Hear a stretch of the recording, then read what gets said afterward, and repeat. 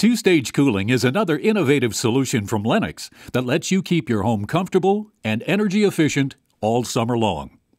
Now, to demonstrate the difference, let's first look at how conventional single stage air conditioners operate.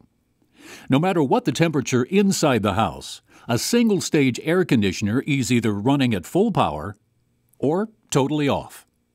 Now, this method isn't as flexible and it isn't as efficient. But a two stage air conditioner has the flexibility to operate at either a low stage or a high stage based on how much cooling your home needs. Now, most of the time, your home doesn't need a lot of cooling, so the air conditioner runs at its slower, most efficient stage. This allows more efficient operation and, as an added benefit, greater humidity control.